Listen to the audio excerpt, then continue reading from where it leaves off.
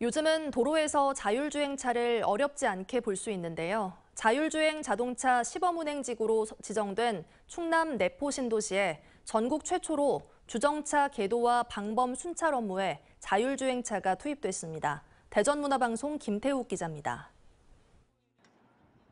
불법 주정차된 차에 다가가 사진을 찍습니다. 단속 요원이 아닌 사방에 레이더와 카메라를 단 자율주행차가 하는 일입니다.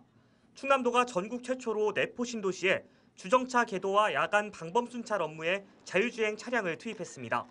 내포 신도시는 국토교통부가 지정한 자율주행 자동차 시범 운행 지구입니다.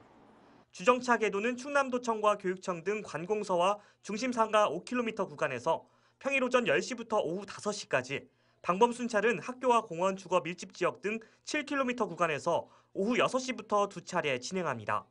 최초로 시도하는 자율주행 자동차, 주정차 궤도 및 방범 순찰 서비스가 안정화된다면 향후 공공 분야에서 자율주행 서비스가 확대되는 계기가 될 것으로 기대합니다. 운전과 계도 활동 대부분은 자율주행차 스스로 할 수 있지만 현행법상 사람이 꼭 타야 하고 실제 과태료를 부과하는 단속은 아닙니다.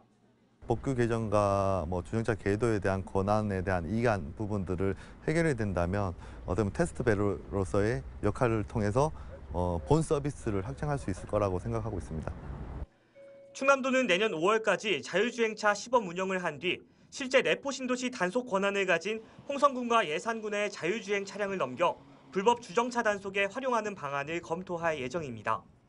MBC 뉴스 김태욱입니다. 언제 어디서나 내 손 안의 뉴스. 광주 MBC 뉴스 유튜브 구독으로 함께하세요.